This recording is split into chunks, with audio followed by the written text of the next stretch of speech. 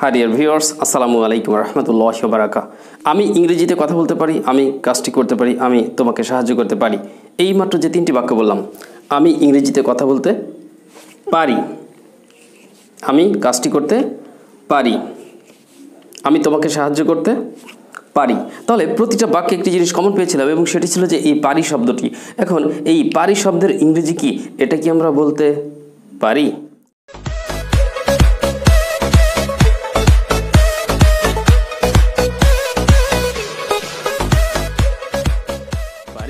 Yes আমার মনে হয় যে হ্যাঁ আমরা বলতে পারি। তাহলে এই যে পারা পারি নিয়ে কথা বলব, কারণ পারাপারির বিষয়টিও আপনাকে পারতে হবে যদি আপনি ভালো ইংরেজি বলতে চান। এটা কিন্তু খুব গুরুত্বপূর্ণ জানা। অর্থাৎ ডিয়ার ভিউয়ার্স এর ইংরেজি হচ্ছে, আমরা জানি যে খ্যান। সি আন ক্যান এই ক্যান মানে পারা। তাহলে বুঝতেই পারছেন যে আমি আসলে কি বিষয় নিয়ে আলোচনা করতে চাচ্ছি আজকের আমাদের মূল আলোচনার বিষয়বস্তু হচ্ছে ক্যান এটা কি? এটা একটি মডেল অক্সুলারি ভার্ব আমরা জানি যে অক্সুলারি ভার্ব দুই প্রকার। একটি হচ্ছে প্রাইমারি অক্সুলারি আরেকটি হচ্ছে মডেল অক্সুলারি আবারও রিপিট করছি।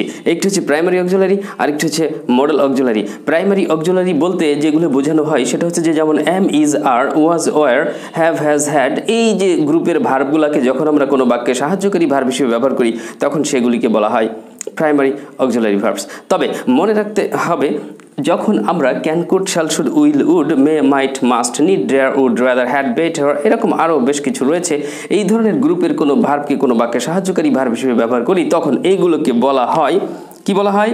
তাহলে এই জিনিসগুলোকে আমরা বলব modal Md M O D A L modal modal auxiliary verbs modal auxiliary verbs modal নয় কিন্তু শব্দটি হবে মো ডাল, মো ডাল। তাহলে মডেল অক্সিলারি ভার্বস নিয়ে আজকে কথা বলব, তো যেহেতু আমি ক্যান এখানে দেখাচ্ছিলাম সো ক্যান নিয়ে আমি প্রথমে কথা বলব। আপনারা দেখতে থাকুন এবং শিখতে থাকুন ওকে তো ক্যান, তাহলে আমি ইংরেজিতে কথা বলতে পারি, তাহলে আমি পারি, এই বাক্যটা আমি পারি আই ক্যান বলতে পারি, তাহলে কী হবে? আই ক্যান স্পিক এবার কি বলতে পারি? আই ক্যান স্পিক ইংলিশ আমি ইংরেজি বলতে পারি, যদি আমি বলি যে আমি ইংরেজি বলতে পারি, তাই এখানে স্পিক ইংলিশ আমি ছোট করে দিলাম বাক্যটি হ্যাঁ? আমি ইংরেজি কথা বলতে পারি, অত বড় দরকার নেই, তাহলে আমি ইংরেজি বলতে পারি আই ক্যান স্পিক ইংলিশ আমার সাথে বলেন আই ক্যান স্পিক ইংলিশ উচ্চারণগুলো সুন্দর করবেন। আমার সাথে সাথে রিপিট করবেন, আশা করি আপনাদের উচ্চারণ আমার চেয়েও সুন্দর হবে। আমারটা তো খুব বেশি সুন্দর না, তাই না? ওকে ফাইন তাহলে আমি ইংরেজিতে, না, আমি ইংরেজি বলতে পারি আই ক্যান স্পিক ইংলিশ আমি তোমাকে সাহায্য করতে পারি। তাহলে কি হবে? আমি তোমাকে সাহায্য করতে পারি। সবাই বলেন আই ক্যান হেল্প সাহায্য করা। কাকে? তোমাকে। তাহলে I can help you yes I can help you আমি তোমাকে সাহায্য করতে পারি। I can help you okay আমি সমস্যাটি সমাধান করতে পারি। তাহলে আমি পারি। আই ক্যান সমাধান করা। Solve I can solve the problem I can solve the problem আমি সমস্যাটি সমাধান করতে পারি I can solve the problem তাহলে ক্যানের ব্যাপারটা এরকম হবে। তাহলে মনে রাখবেন যে কেউ কোনো কাজ করতে পারে। পারাপারি বোঝালে আমরা ক্যান ব্যবহার করতে পারি।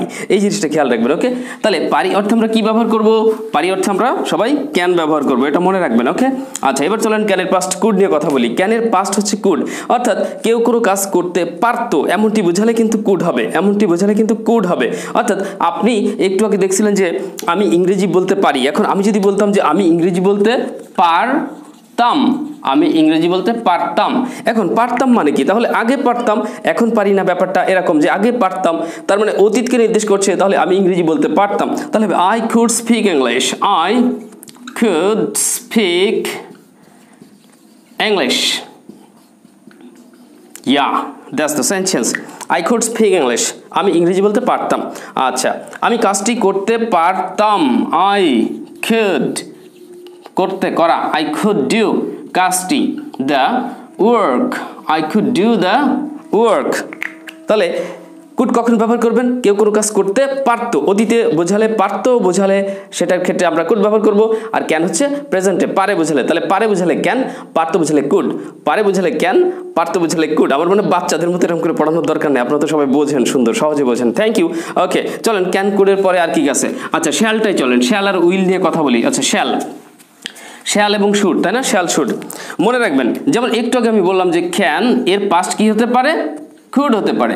কিন্তু আপনাদেরকে খেয়াল রাখতে হবে, shall S S A double L শ্যালের past কিন্তু শুড নয়। শ্যালের পাস্ট কিন্তু শুড নয়। শুডটা আলাদা থাকবে শ্যালের সাথে এর ওই রকম কোনো সম্পৃক্ততা নাই যে ক্যান যেরকম প্রেজেন্টে হয় কুড পাস্টে কিন্তু শ্যাল হচ্ছে ফিউচারে হয়, কিন্তু শুটটা কিন্তু ওই রকম না যে শ্যালের পাস্ট হিসেবে শুট ব্যবহার করব তা না। তাহলে শুট নিয়ে পরে কথা বলব। মূল আলোচনা হচ্ছে শ্যাল নিয়ে হ্যাঁ? ওকে তাহলে শ্যাল শ্যাল আর উইল মনে করবেন যে একই বিষয়। শ্যাল আর উইল মনে করবেন যে একই বিষয়। এখন শ্যাল, উইল আমরা কখন ব্যবহার করি? বিশেষ করে আমরা ফিউচারে কোনো কথা বলতে চাইলে যে আমি তোমাকে সাহায্য করব, আমি তোমাকে সাহায্য করব। তো আই এবার আই শ্যাল এখানে দিতে পারেন যে হেল্প এরপরে দিলেন ইউ এখন এখানে আই শ্যাল হেল্প ইউ দিতে পারেন, অথবা আই উইল হেল্প ইউ এটাও দিতে পারেন। মডার্ন ইংলিশে মডার্ন ইংলিশে আধুনিক যুগে আমরা প্রতিটি পার্সনের পরেই উইল ব্যবহার করতে পারি। অর্থাৎ শ্যালের ব্যবহার তেমন একটি নেই বললেই চলে। মানে শ্যালের ব্যবহার তেমন একটা দেখা যায় না এখন। আমরা সব আধুনিক হতে হতে এত আধুনিক হয়ে গিয়েছি যে শ্যালটা খুব একটা ব্যবহার করি না বললেই চলে। তাই আপনি মনে রাখবেন যে প্রতিটি পার্সনের পরে আপনি সিম্পলি উইল ব্যবহার করতে পারবেন।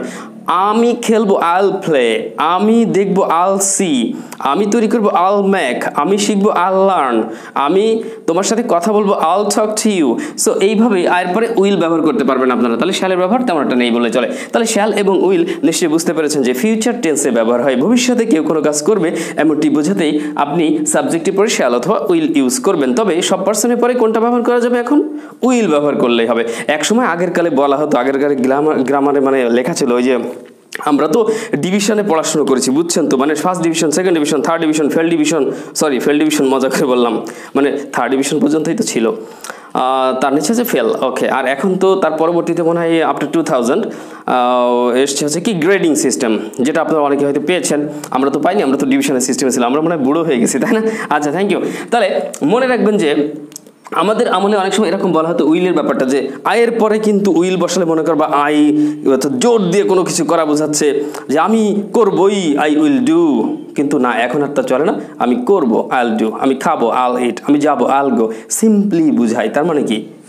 আলোচনা, ধ্যান ধারণার পরিবর্তন ঘটেছে না? মডার্ন ইংলিশ ইয়াস তো এইসব দরকার নেই মনে রাখার, এক কথা মনে রাখবেন, সব পার্সের পরে ফিউচার টেন্সে বুঝালে সাবজেক্টে পরে শ্যাল অথবা উইল ব্যবহার করা যাবে হ্যাঁ? তবে আমি কি নিয়ে আলোচনা করছি? মডেল অকজুলারি নিয়ে আলোচনা করছি। সবসময় মনে রাখবেন যে মডেল অকজুলারিতে বাক্য তৈরির নিয়ম হচ্ছে যে আপনি যে সাবজেক্টটি ব্যবহার করবেন, এই সাবজেক্টের পরে ওই মডেল ভার্বটি আসবে। আমি সংক্ষেপে এম দিয়ে বুঝালাম মডেল ভার্বটি আসবে মডেল ভার্ব এরপরে কিন্তু যে মেন ভার্ব আসবে, এই মেন ভার্বের প্রেজেন্ট ফর্ম মানে প্রথম সারিটা ভি ওয়ান দিয়ে বুঝিয়ে দিয়েছি, প্রথম সারিটা ইউজ করবেন। তাহলে সাবজেক্টের পরে মডেল ভার্বস অর্থাৎ সাবজেক্টের পরে মডেল ভার্ব দিয়ে আপনি ভার্বের প্রেজেন্ট ফর্ম ইউজ করবেন। তবে মনে রাখতে হবে, যদি কখনো কোনো ক্ষেত্রে ওই মডেলের পরে কোনো বি চলে আসে, মনে করেন ক্যান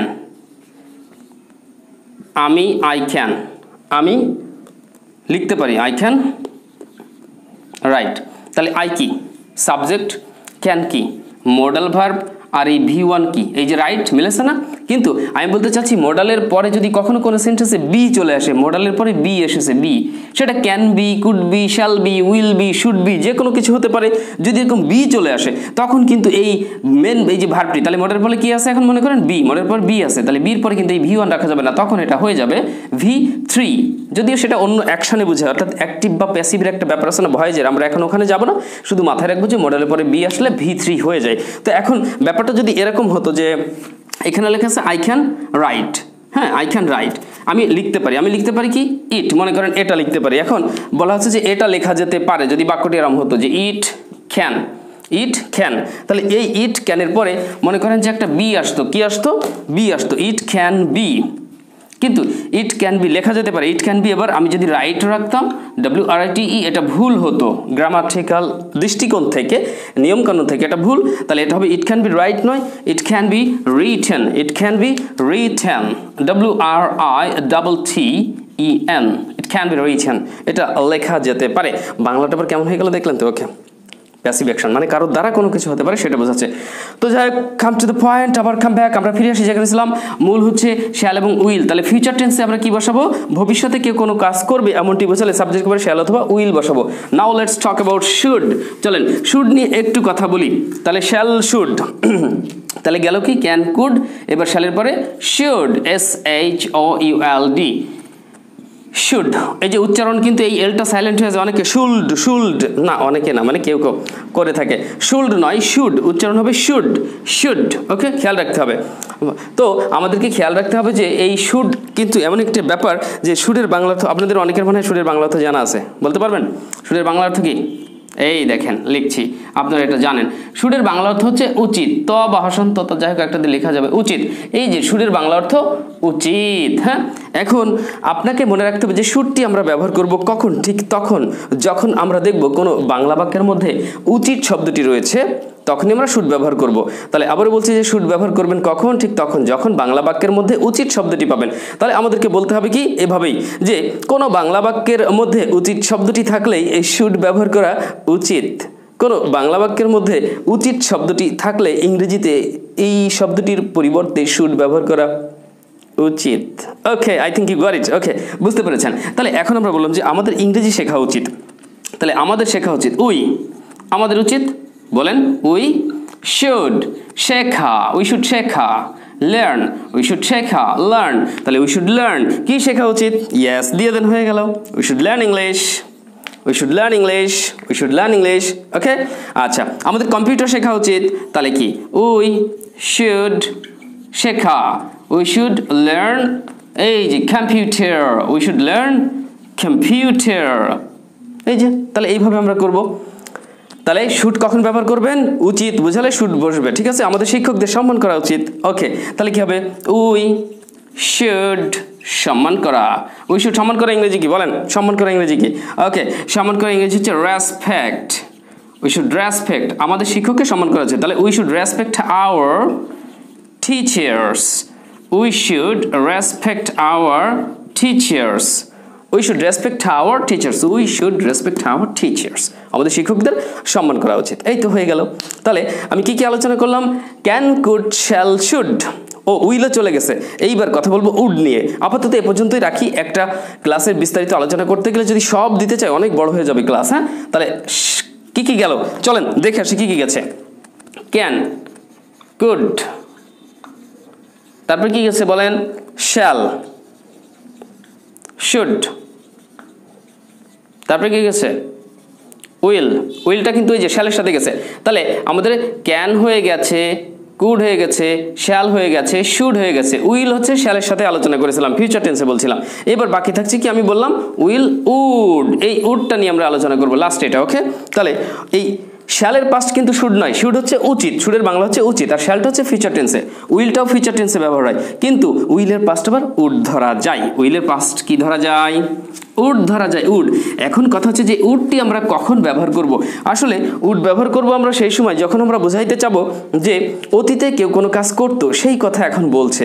অতীতে কেউ মনে করেন যে আপনি এক সময় মাছ ধরতেন, ঘুড়ি উড়াতেন ক্রিকেট খেলতেন, বন্ধুদের সাথে ফুটবল খেলতেন। তো এই রকম কোনো কথা আপনি এখন বলছেন। তো আপনি বলছেন যে আমি মাছ ধরতাম। হয়তো গ্রামে বেড়াতে যেতেন এক সময় ছোটোবেলায় বা বাবার সাথে, চাচার সাথে তো সেখানে বন্ধুদের সাথে যে আপনি সেখানে মাছ ধরতেন, আনন্দ করতেন। তাহলে আমি মাছ ধরতাম। তাহলে আই ধরতাম। আই উড আগে দিতে হবে সাবজেক্ট হ্যাঁ আই ধরতাম।